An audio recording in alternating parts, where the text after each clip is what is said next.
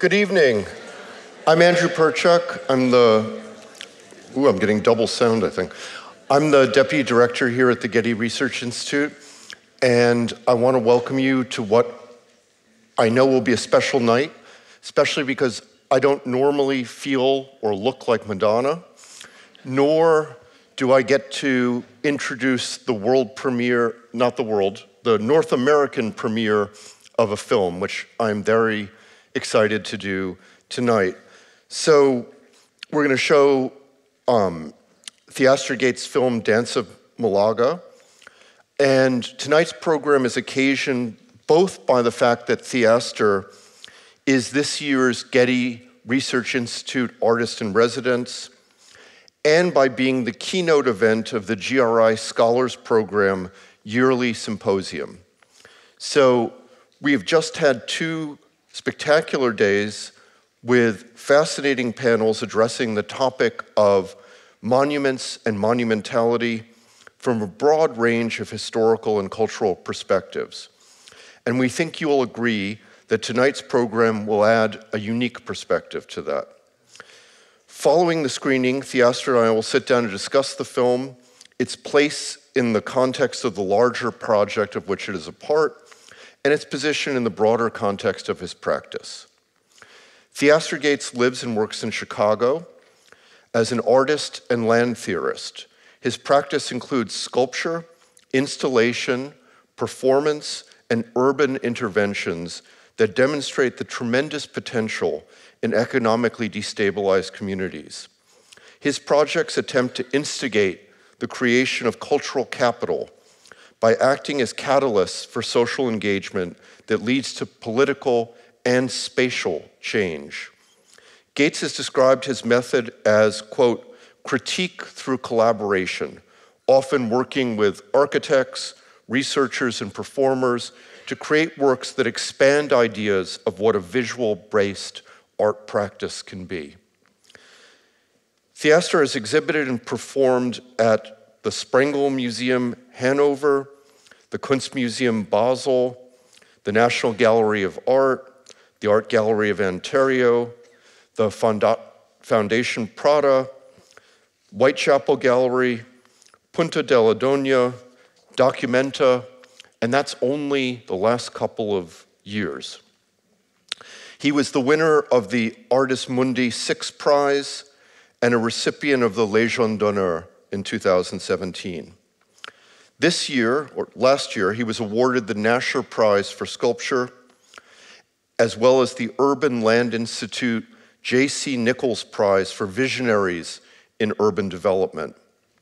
Theaster is a professor at the University of Chicago in the Department of Visual Arts and the college, and he serves as senior advisor for cultural innovation and advisor to the dean, and is the director of artists initiatives at the Lunder Institute for American Art at Colby College Museum of Art in Maine.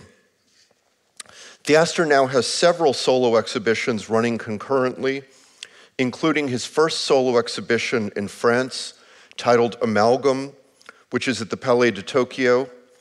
The project explores social histories of migration and interracial relations, using a specific episode in American history as a point of departure the story of the forced depopulation of the Malaga Island in Maine.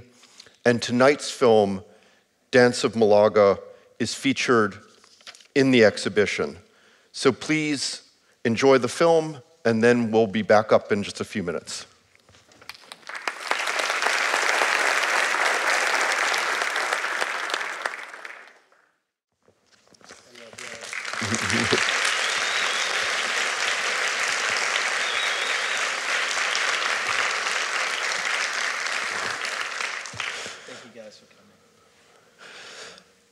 Powerful and beautiful film, and a little hard to go straight into um, a conversation. But maybe we could start off by how did you become aware of the story of Malaga Island?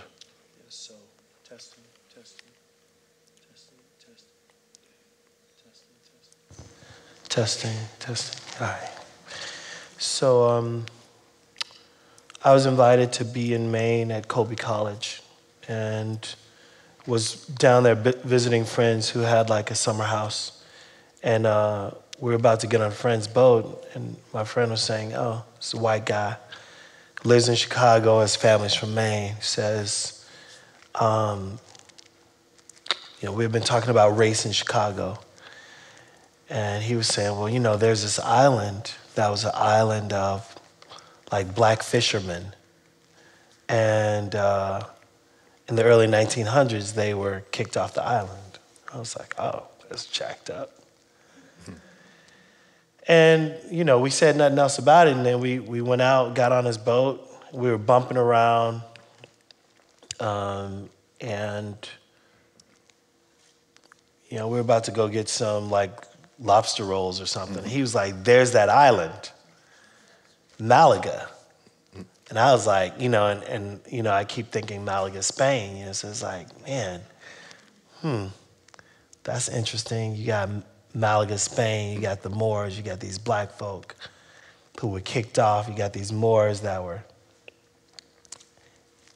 eradicated along with the Jews. And I was just thinking about all these things, and I just thought um, maybe a time, part of the thing that I could think about in Maine, even though I was supposed to be in Maine relaxing, mm-hmm. you know, but maybe this island had something in, in it that was worth talking about. And so we stopped to get lobster rolls, and then we get off the boat, and the first two people I see are these two brothers. Ain't, ain't a lot of brothers in Maine. But one of the brothers was a brother named Daniel, uh, I mean, black person brothers. One of the brothers was a guy named Daniel Minter who was trying to put um, historical markers on the island and was already doing really good kind of community based work, thinking about the island. And so th- this other thing happened where he was like, Well, you know, I've been trying to raise the money to get this thing. And I was like, Oh, we should just buy the island. And it, it you know, I'm gonna, I'll keep talking in terms of monumentality, but but pretty quickly I realized that there were there were things that were already happening that were super important, and then there were these other things that I felt my practice could do to just kind of amplify Daniel's work and the work of the you know Maine Coastal Trust, and you know, and, and so.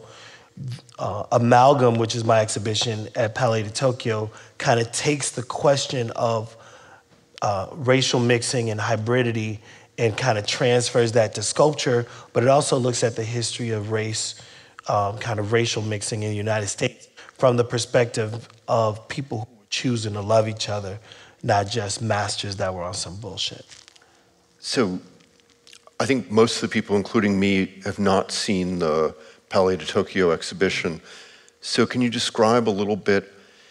The film uh, is in the context of sculptures and objects that you mm. created and, and, talk a little bit about that. Yeah, so maybe maybe conceptually first, the idea was that um, this really hard history uh, where where poor people were getting together and they were of native background, black, white, you know, kind of poor Irish cats and then kind of immigrant communities that kind of didn't fit in anywhere else, they would kind of end up on this island that at one point was owned by a black dude, and then um, uh, uh, the McKinney family, which was a we don't really know their racial ethnic origin, but let's say they were white-ish, you know. Um, and, and there's a lot of that, you know, kind of you know, we're, we're at 19, we're, we're at 1905, 1895, 1910. Things are palpably uh, mixed and, and understated, you know. And so I, I think that for me, that, that idea that um, people were called amalgams is like, how can I take this, derog- this derogatory term and kind of think about that in the context of um, architectural hybridity or ideological hybridity or um, material hybridity.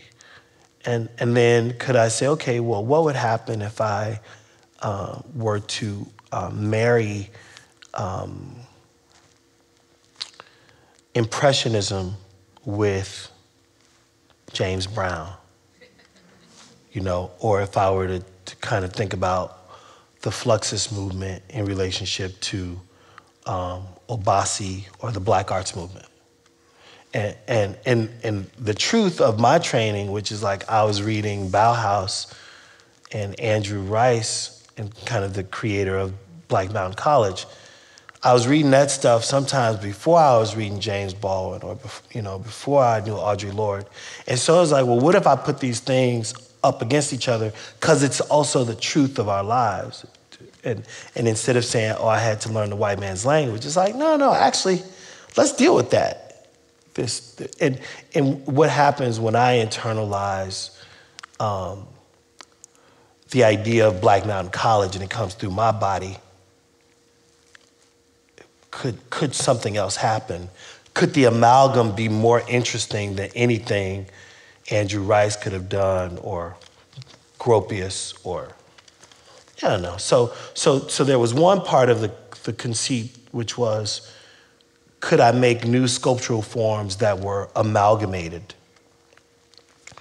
And, and the show kind of moves like that. And then spatially, there, there was actually a, it, Palais de Tokyo is a big space. You know, there's a lot of room to kind of move around. So there were commemorative moments, like there was an altar um, that, that was about an architectural form that looks like a house with a pretty steep slope. And then, um, and then there was this forest that was representative of the new growth uh, because we think at some point maybe Malaga was deforested so that people could harvest the wood for, for fuel. And then there's this film, and all, and all through the space, um, I'm, I'm kind of asking questions about what it, what, what does it mean when we say um, black and brown communities? And sometimes when we say black and brown communities, we're actually also saying, my dad is white. But that's, that's rarely articulated. My mom is white. And so how do you, how do you start to kind of um, indicate the truth of whiteness within this, this broad subject of, uh, of a racial imaginary called brown? Well, I mean, that's one thing interesting we were just talking before, you were saying, because obviously your work is deeply engaged with African American history from the beginning, but you were saying that there are very few monuments to interracial communities. Yeah, or uh, um, so maybe one thing about the, the, the symposium on monumentality is that from the, from the beginning of being invited to be in residence, um, I was concerned that the monument that was being discussed might only land at material forms, right? And, and, and, and there are a lot of really important monuments. But I, I actually now know that the, the intent was much broader than that. And definitely my intent was broader, which is um, how many people know that they're of mixed ethnicity in the audience? Y'all look at each other right? That, that, that there was this, that there's something that uh, was kind of understated because we don't actually have a, a, sophisticated enough language always to talk about the truth of our identity. And um, maybe, maybe historically, uh, the truth of your biraciality or, or triraciality, the history of your ethnic makeup would be evidenced in the monument of your hair or your freckles or your skin or um, or maybe mannerisms that you get from your daddy's side because they Appalach from the Appalachian white world, and your mama's side is from the sophisticated old school Detroiters or the Philadelphians or something, and that that you end up being this weird mix of like I, I can kind of get along with anybody because uh, you know. Uh, but but but is it possible to think of um, not to monumentalize by you know being biracial, but to to say race is so much more complicated than the language that we have for it, and the conversations could get so much more interesting um, if there was room for, because of this weird white world, this weird world, for a person who identifies as black to talk lovingly about how loving their white mother was, or how loving their white father was, or, or how, uh, how loving their black mother or father was given the complexity of choosing to continue to live with that white woman in a black neighborhood. All those things that are just, ooh, harder to talk about. And it's like, I'm just glad I'm brown. And so there's a kind of monument of brownness, and I'm just trying to open that up. you know. Well, one of the, what's not clear from the film, mm. but a really interesting and conscious choice you made is that this is not documentary. It's mm-hmm. a fiction film. You didn't go and track down the descendants of Malaga. Mm-hmm. Yeah, I mean, I, I, felt pretty strongly that, um, like, let's say if I was doing a certain kind of political work or an activistic work, um, that that um, it could get journalistic, or you know, and that there were other people who were already committed to that. You know, they were, you know. And, and the thing that was interesting was that, you know, this edict was announced in 1911 and 1912. People were, were um, they weren't forcibly removed, really. They left in advance of the force, right? They left. So, the, so it was like the, the announcement came that the governor was kicking you know, folk off the island. And they had like six months, they, were, they left. And it seems like what happened was that there were those who could pass, who were whitish, white enough, and they were able to kind of settle and just kind of be quiet. And then those who couldn't and then there were those who were sent to an insane asylum. Said to be shiftless because they were asked questions like, Who's the current president of the United States? And if they answer that wrong, they were thought to be mentally incapable of, of living. When really but that was, was also, I mean, a way of controlling oh, yeah. communities was to, in those days, put them in Absolutely. Yeah. And, you know, and controlling the image because Malaga, you know, imagine this is the island and there's some trees in the middle. And this is a black person standing at the edge of the island. Maine was becoming a kind of uh, an emergent center for tourism, fly fishing, uh, uh, retreat. And so they didn't want boats to have to look at the image of black people or mixed race people from their boats, that, that it would disturb the state's image, right? And, and so and so it was it was it was uh, so that stuff is kind of you know it's just kind of interesting. Yeah. And, and so what I, I I just decided okay well rather than making my exhibition. Uh, about the people of Malaga, I'll take the question of racial mixing and, and then from there start to construct um, a, a, a Malagan future. right? So in the show, there's this area called the Malaga Department of Tourism. And I, I imagine myself being like the executive director of the Department of Tourism, and I would basically make the island the home for any mixed race person in the world. And that Malaga would have a passport. And so it's like, hey, you know, like Ghana has this like repatriation situation they want to do. It's like, hey, if you're of mixed descent, any welcome home, right?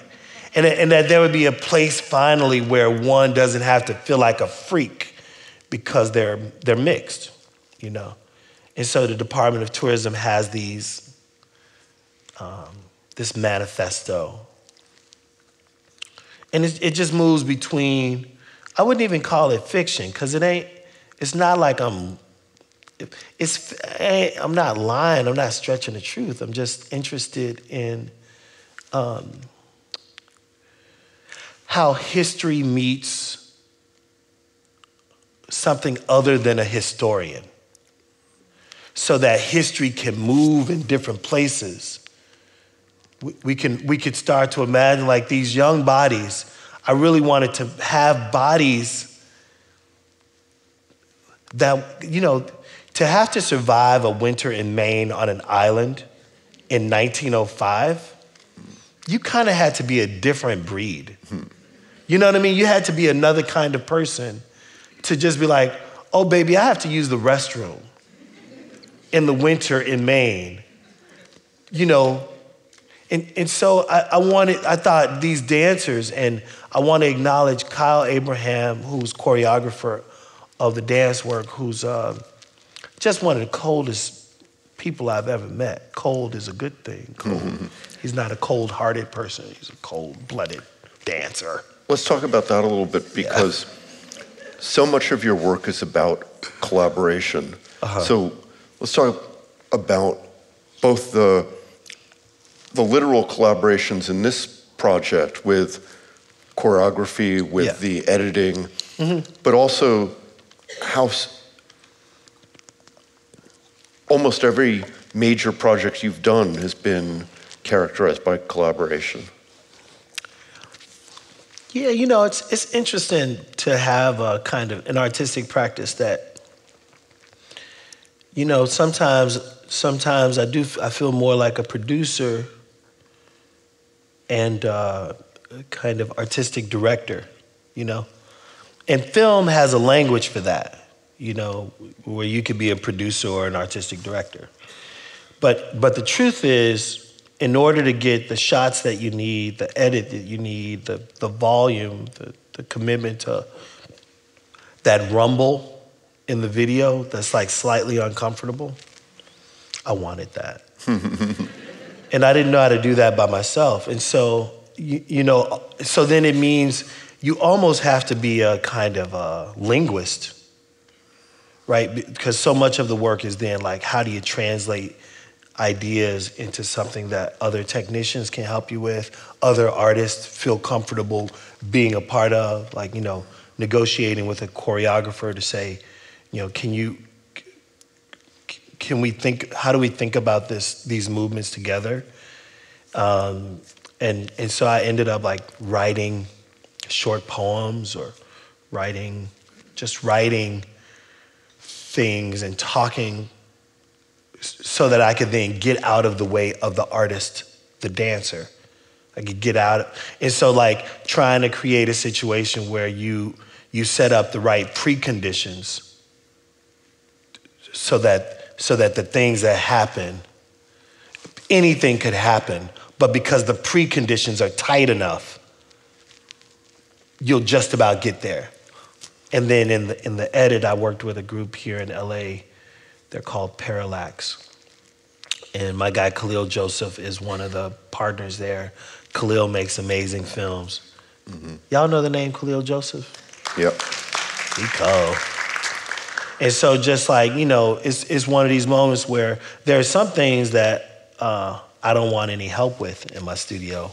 I make them myself. When you compose the music as well. Yeah, like, uh, you know, those are my lyrics and I don't need, I don't want help with the the the language that I'm deploying about this move or the emotional intent of the singer.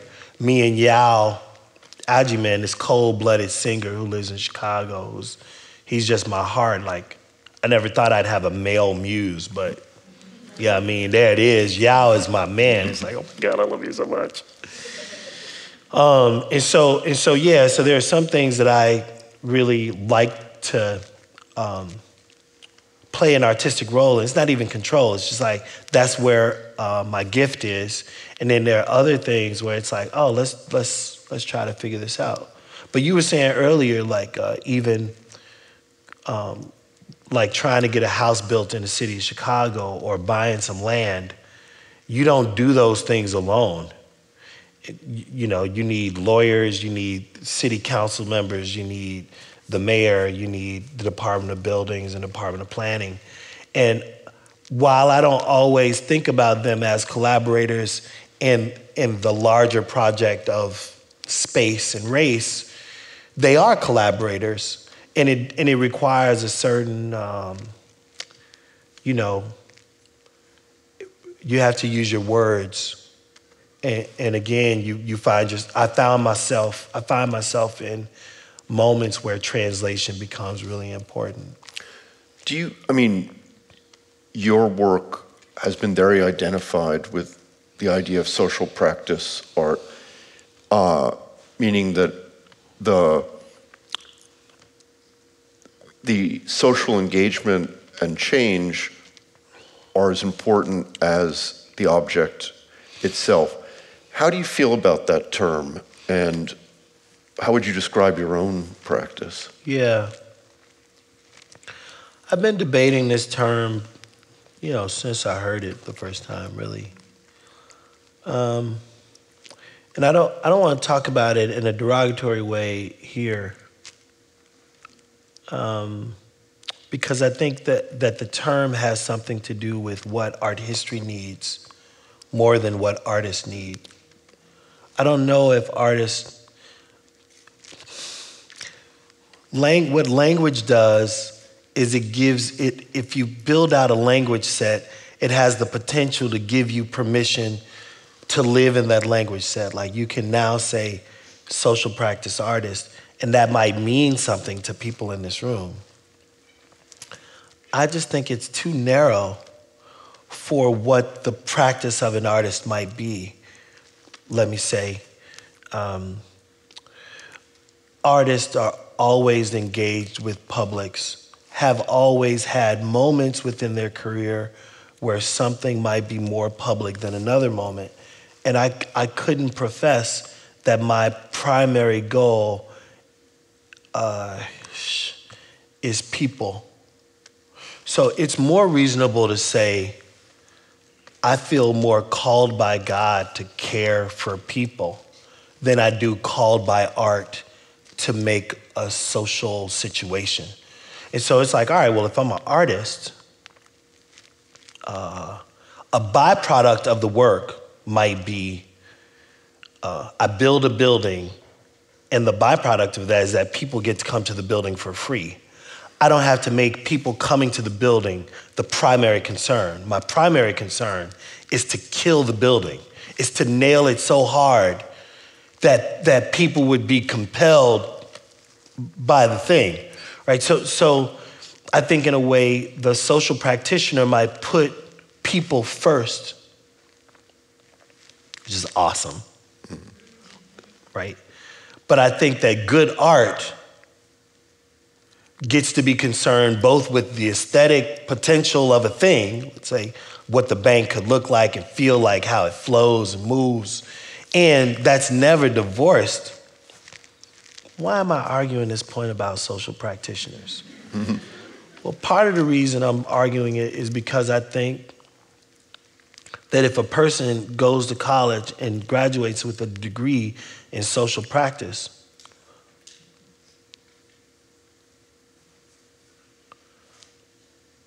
what might they do? What is it, what is it that they're being called to do? Mm-hmm. And I would say the same thing. Like, I think a social practitioner without an, an aesthetic sensibility is like an engineer without an aesthetic sensibility. There's a lot of ways to build a bridge and to, and to kind of get, get, at, get, a, get from one place to another, but it's like, man, it could happen in a really ugly way. Well, in your case, I think it was much more, but I may be wrong, you tell me, much more organic in the sense that you were living and working in South Chicago. Yeah. And saw an opportunity there to make a difference with your art. Yeah, I mean, man, I, just promise me that after I say this, we're going to go to another question. if a kid graduates with an undergraduate degree in journalism and then they do a master's in whatever you're saying, relational aesthetics, social things, and then that journalist decides that they're going to take their journalistic, they're, they're going to bring their skills to social practice.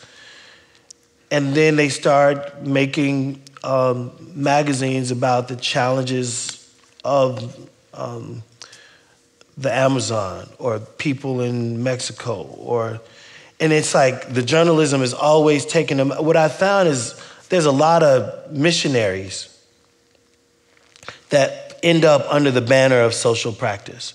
And they're always, you know, like a missionary, they're always somewhere other than their boring suburb or their little enclave or whatever. And I'm like, man, does it ever want, do you ever want to stay at home and interrogate whiteness? Do you ever want to stay at home and talk about the straightening comb? Do you ever want to stay at home? You know, but I, I feel like in some ways, um, art is a big enough word for lots of different kinds of practice. And I think we should fill art up instead of creating all these little tinctures. Just feel art is big. Art is big.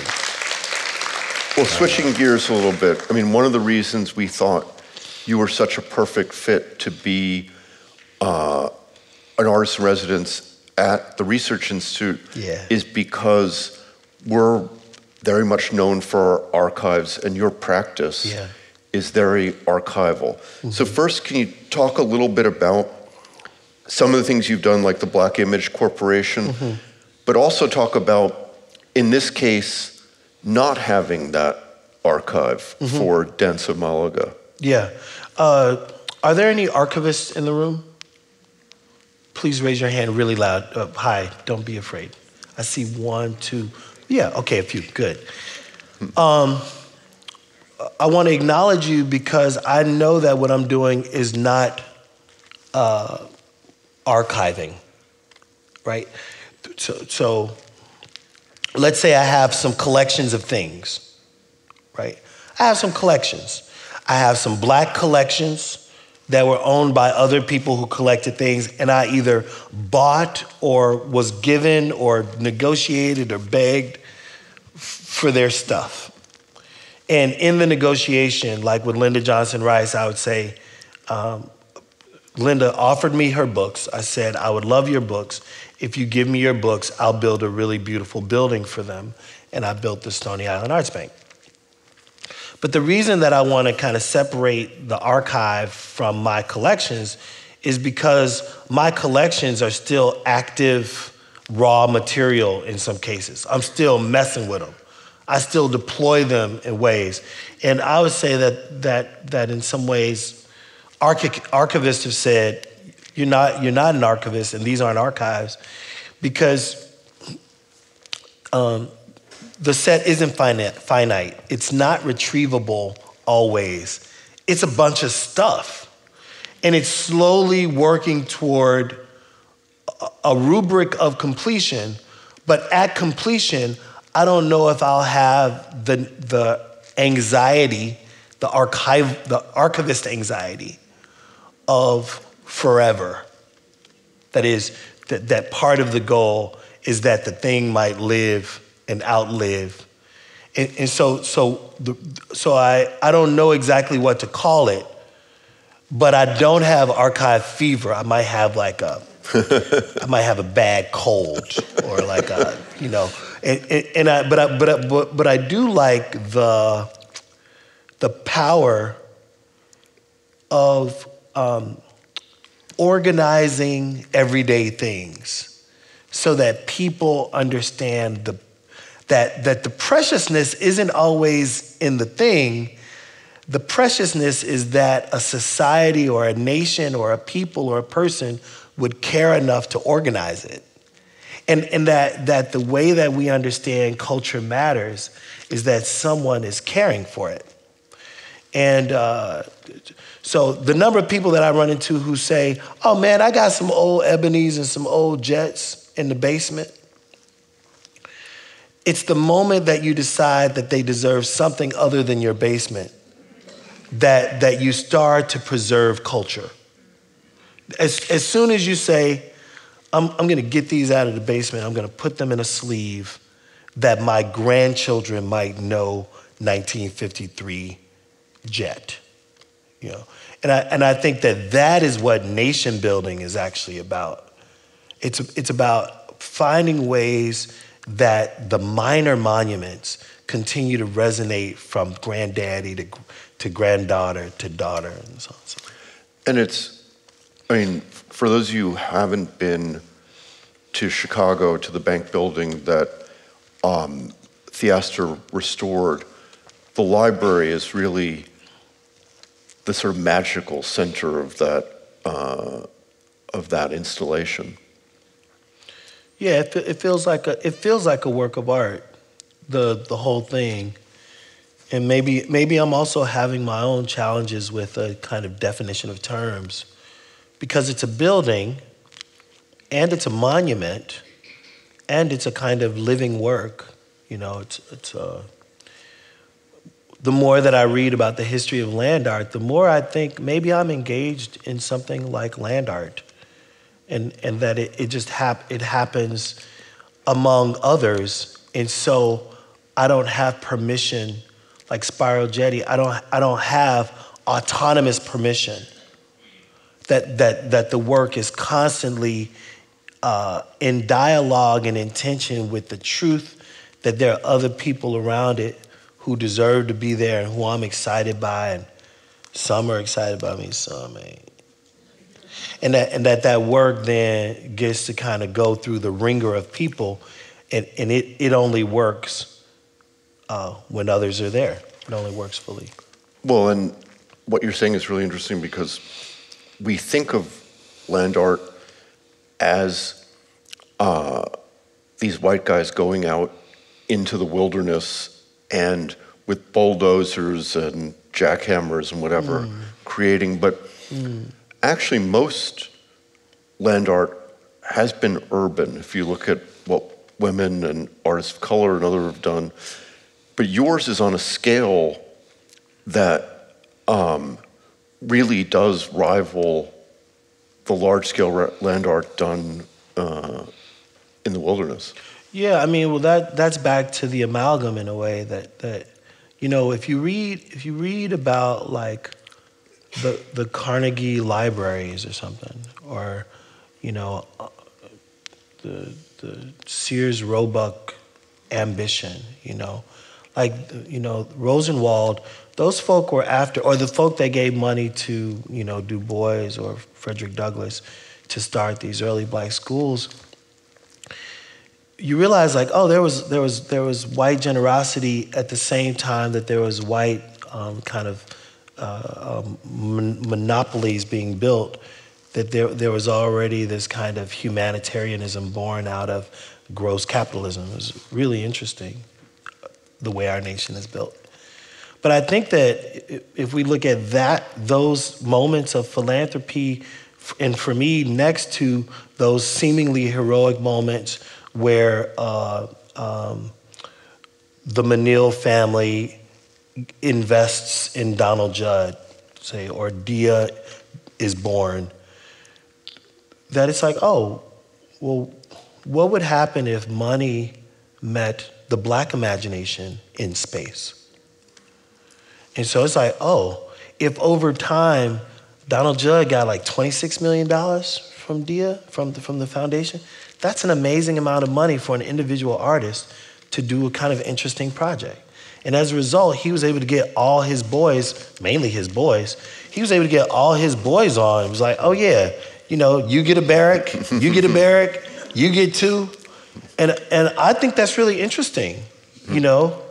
Um, and so it's like, all right, well, where does $26 million come from? So I'm like, well, maybe, maybe I got to hustle and get my own $26 million so that I can invite my homies into these houses.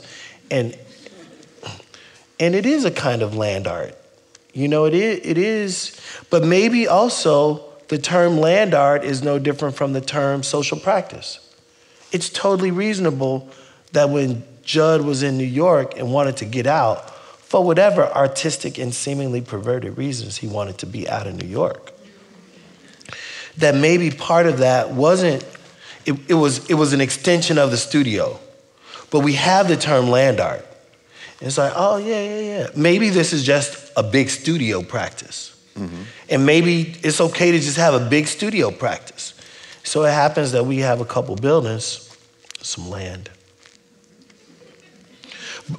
And I'm saying, when I think about like my guy Kevin Beasley, or I think about Sister Stephanie Jemison, I think they're spending their time deepening their work in all these ways. And it just happens that like a portion of my studio time is spent negotiating with the Cook County Land Bank for properties. And, you know, looking at, I don't know what they call it, Zillow, or, you know, just look, looking at buildings all the time. Yep. One of my favorite things that you said is that you're interested in making objects that bear witness to their legacies. Yeah. Yeah, I think, you know, like in the Palais, I've been messing with these African sculptures, these, these masks, they're Ivory Coast, you know, parts of Nigeria, just kind of thinking about them. And these are wooden masks and they're starting to disintegrate. Right?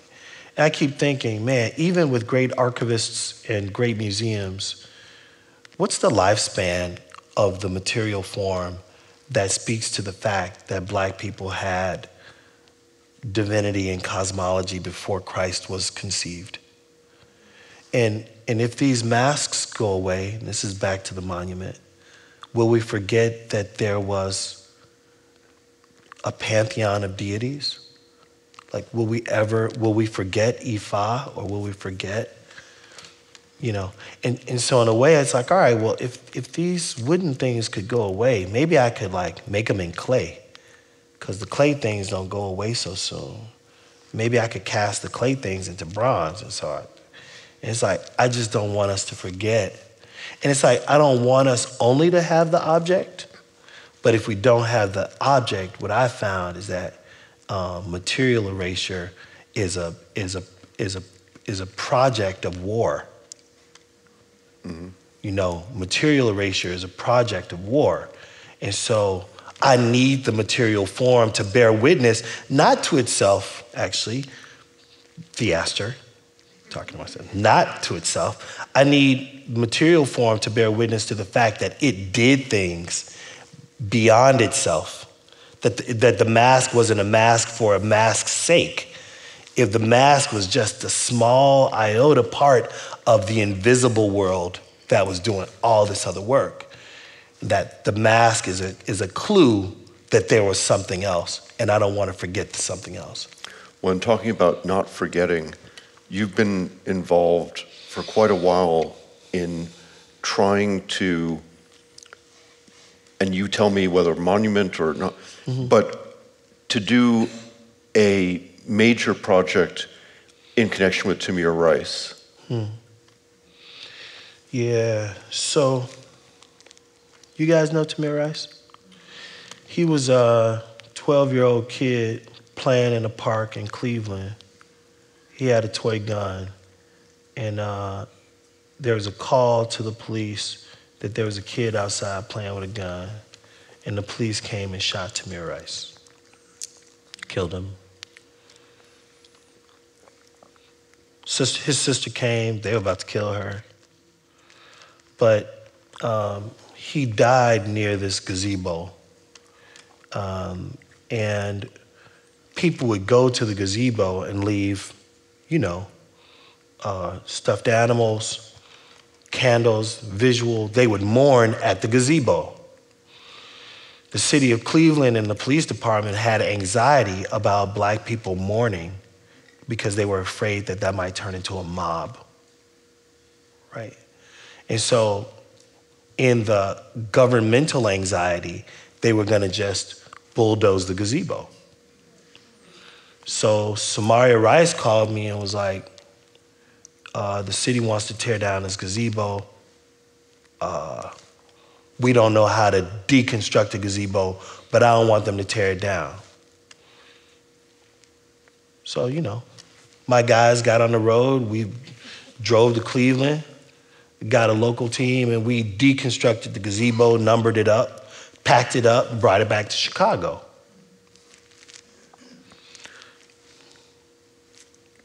The, the concrete block, you know, like, it's hard to talk, it's like too fresh. But the concrete block where he, where his body had had lain, um, we cut, it was cut, and that was part of, you know, so we, we have this material truth that this kid had, had passed. Now, what was also happening at the gazebo was that people were starting to organize around police brutality and unnecessary violence. And it, it was starting to create intelligence, in, intelligent organizing. So it wasn't actually that they were afraid of like an emotional mob, they were afraid of a strategic mob, right? They were, they were afraid that the, the death would cause a level of sophistication for which the city of Cleveland was not ready to deal if a class action lawsuit came against the Department of the Police in Cleveland. And so, in a way, um, um, so I received, you know, we, we brought it back, we have it, we're gonna resurrect the gazebo in Chicago. But it's also meant that I now have this relationship with Samaria Rice and her team, and, and we ultimately wanna find a, a more permanent home for it. So, you know, sometimes these moments, they're, they're, you know, the gazebo is its own uh, reliquary, power figure, a power object.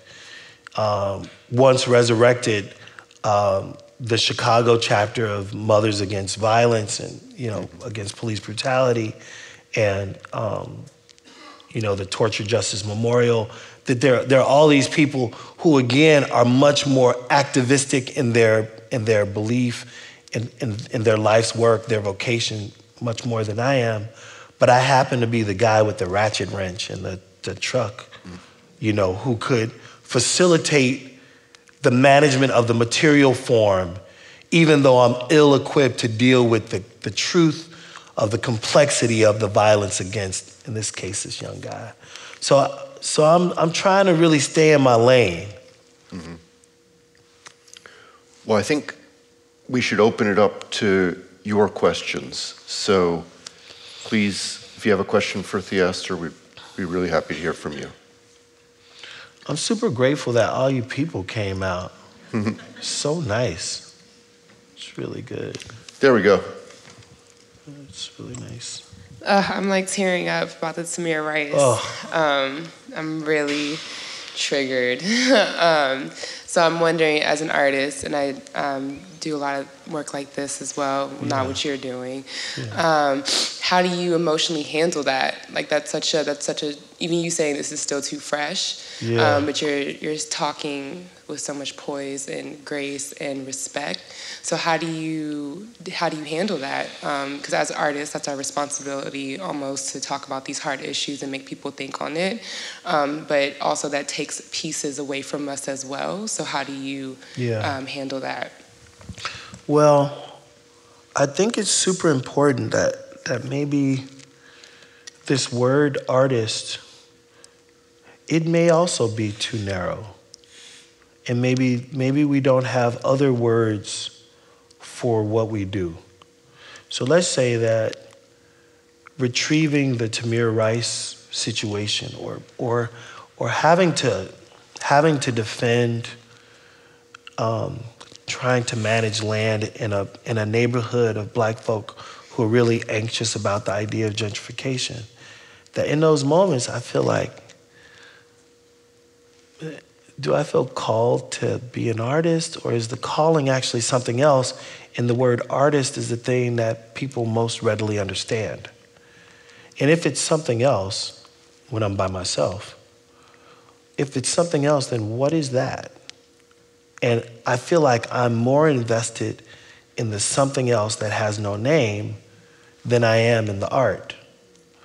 But if we were, if we were talking about what the world understands, or, or then it's like art is that thing where you, you can materialize your, you can, you can, it's, you can materialize something, call it art. And then it has people's attention. And then there's a there's a constellation of spaces and platforms where if you you materialize a thing it lands in that platform. If it lands in that platform people will understand it as art. But maybe there's all this other stuff for which we don't have a name that is that requires the same s- skills that an artist have and all that. But maybe it has much more to do with the heart or with uh, with, with some kind of deep, deep emotional intent that has nothing to do with others. So, to your question, what do you do with, the, with what it takes from you?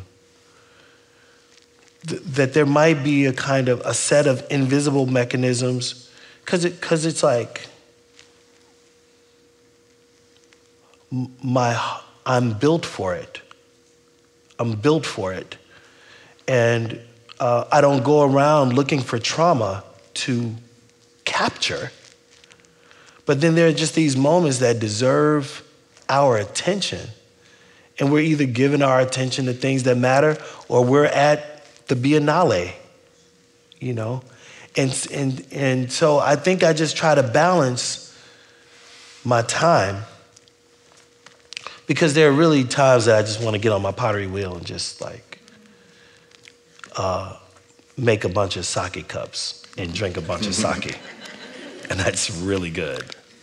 And we should mention the, you have a background, I mean, you studied ceramics at Iowa State.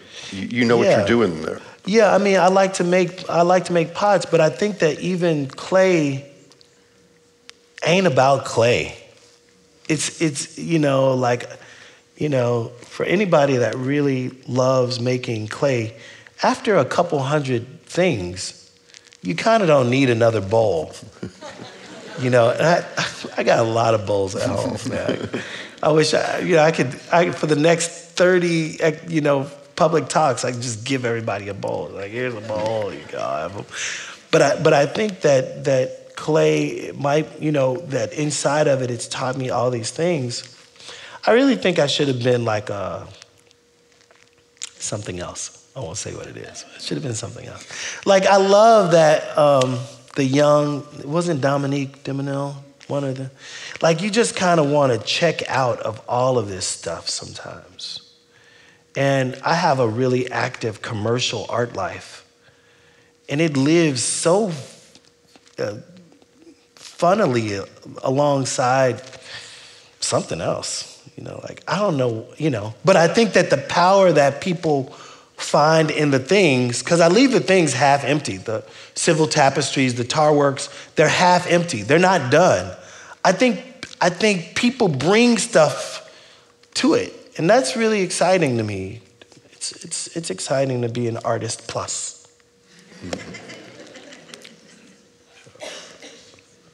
Oh, some, yeah, there's another one back there. Y'all don't be shy. We're only, we only have a couple more minutes together. Let's shake it up. Thank you so much. I'm interested in your, if you're interested, Sure. telling us a little bit more about the medium of film and your interest in film. Yeah. Okay, right on. So, uh, for me, film and music go together. Um, and when I was when I was making clay things alone, I would sometimes say, man, there's so many things that I want to say that the material form doesn't allow me to. But because, because of the discipline of clay, and because it was a kind of discipline and there, there were traditions around it, you, I didn't want to cheat the tradition.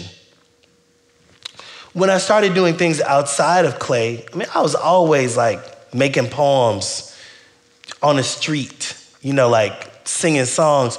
But, but clay was a discipline, and, and, and, you know, all of my big ideas, I would try to make them land through clay.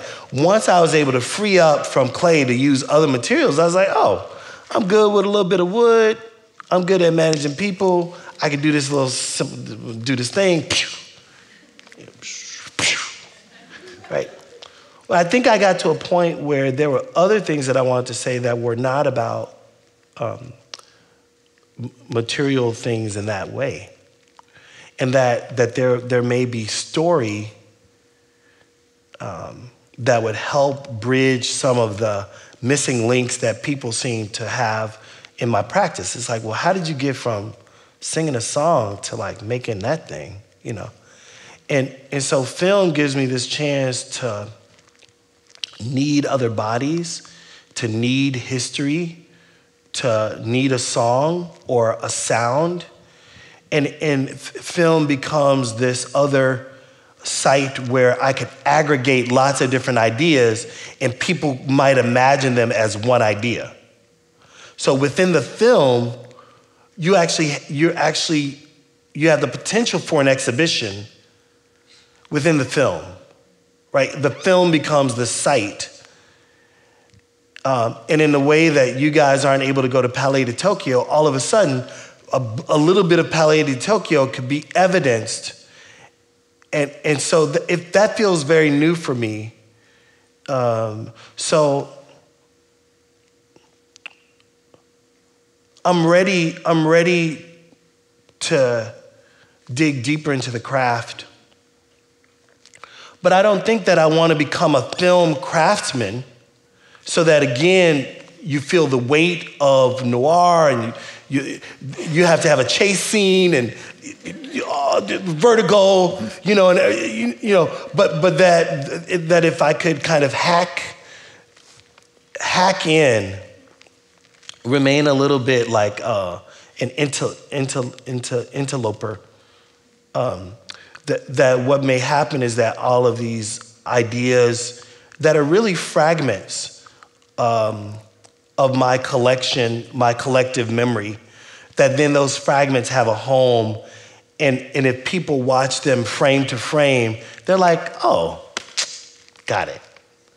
And, that, and if anybody wants to help me learn how to make a film,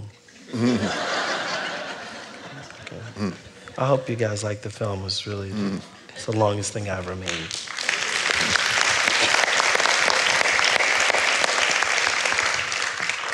I'll take two more questions. Yeah. Mm-hmm. Uh, have you uh, explored maybe ways of uh, telling a similar story uh, elsewhere in this country or in other parts of the world through the medium of film or, or a different medium that you're interested in? Yeah. Um, my exhibition, Black Madonna, which was at Kunstmuseum Basel, it, it used the Johnson Publishing collection as the kind of um, basis for the exhibition. But within Black Madonna, there's a piece that I made called Black Temple, which is Shirley Temple dancing next to Bojangles in The Littlest Rebel. And, and so there's a scene in The Littlest, the, so it's a series of clips from The Littlest Rebel. One is when Shirley Temple is a sergeant leading a team of young slaves as if they're like a small battalion ready to defeat um, the North. Right? Strange. Mm. You know. And then there's a moment where Shirley Temple is dancing, uh, trying to raise money to get her father out of jail, who's been sacked by the Yankees. And then there's Bojangles, this beautiful series of dances where um, Shirley Temple is having a dinner fair She's six. Her friends are between six and 10. And Bojangles, who was serving food, is then uh, doing a little jig in between meals. And he's tapping. And I slow that down, and, it, and, and it's just, and then the, the height of my edit is when Shirley Temple, um, trying to disi- disguise herself as a slave, paints her face black and hides with the slaves when the Yankees actually come and overtake, overtake her, her dad's property. And so they're in a closet, everyone's pulled out, and eventually the northern military soldier realizes that Shirley Temple is in fact not a slave, she's white. And he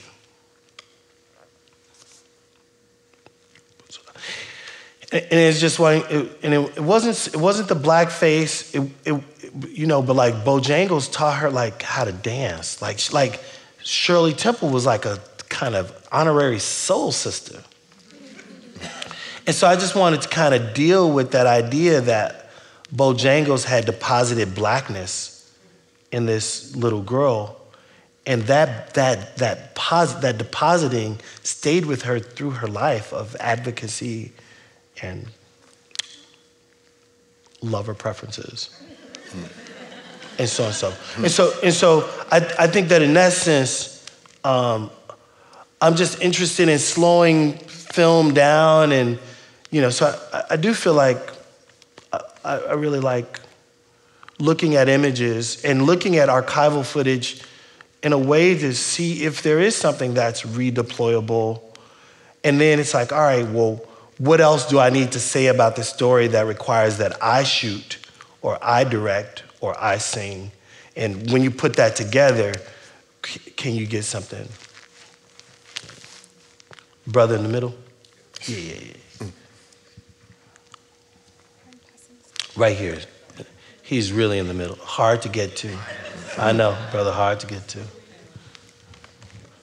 Oh, yeah, there it is. When it, when it comes, it comes in twos, bro. Right on. thank you.